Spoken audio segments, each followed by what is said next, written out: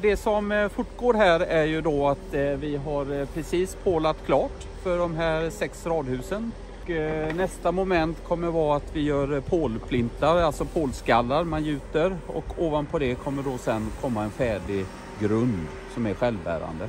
Modulerna från Götenehus de kommer levereras i slutet på maj och början på juni och färdigställas då under hösten med inflytt i eh, eh, 1 december.